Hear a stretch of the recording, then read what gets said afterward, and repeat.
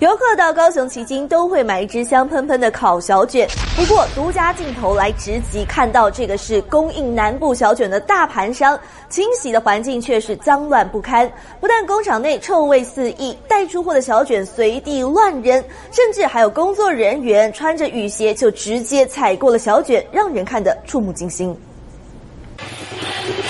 满坑满谷的小卷直接被丢在地上，工作人员戴上口罩，因为里头鱼腥味又带点疑似阿莫尼亚的味道，相当刺鼻。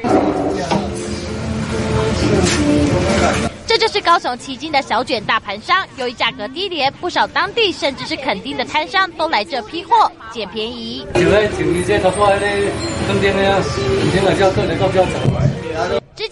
发现工作人员就在地上处理小卷，随地扔。夸张的是，这位大哥还穿着雨鞋踩着小卷。镜头另一边，橘色及黑色的不明处理物放置在一旁，看起来就相当不卫生。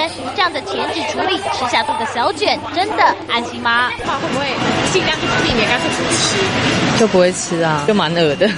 丢地上看起来就很恶心啊，人会买回来自己弄，要不然就不吃了。这盘商藏在小巷内，只有皮客会知道。针对脏乱的环境，卫生局就要先稽查。影像当中看到的情况哈，不合乎我们的要求啦。现场的状况哈，包括它里面还有哪些东西，应该我们会到现场去了解之后来做限期改善。限期内不改善，卫生局就将开罚。不过大盘商出售的小卷不只有旗津地区，连垦丁也是大宗流向，让不少民众直呼吃下肚真的好怕好怕。万一民众吃出了卫生问题，谁要来承担？